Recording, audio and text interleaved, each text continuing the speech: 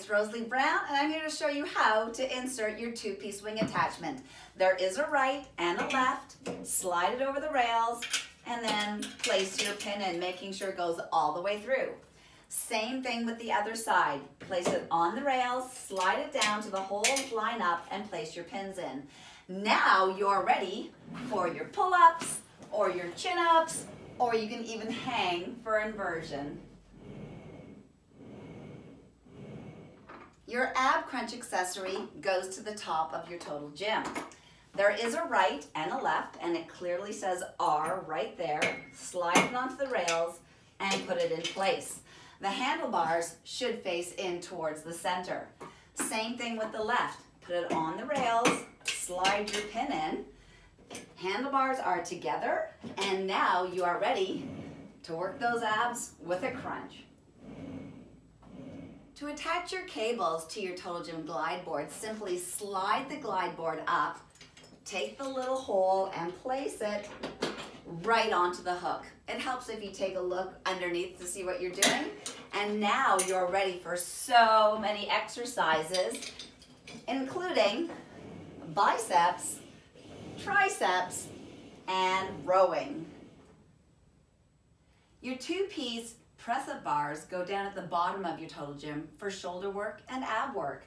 Slide the glide board up and away so that you can easily place them right on top of the rails and slide the pin in. You'll notice the handle faces outwards. Same thing for the other side. Slide it onto the rails and then slide the pin in. Now let the glide board come down and you're ready for perfect shoulder work.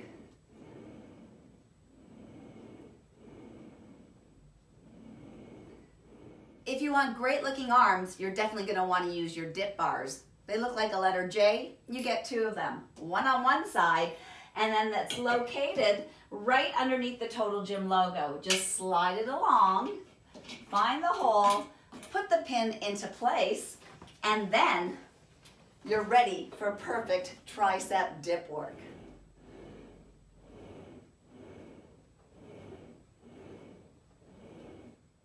If you have a Total Gym Fit model, you can add a weight bar. Just simply slide it through the holes and then using your own plates, place them on one side and then the other.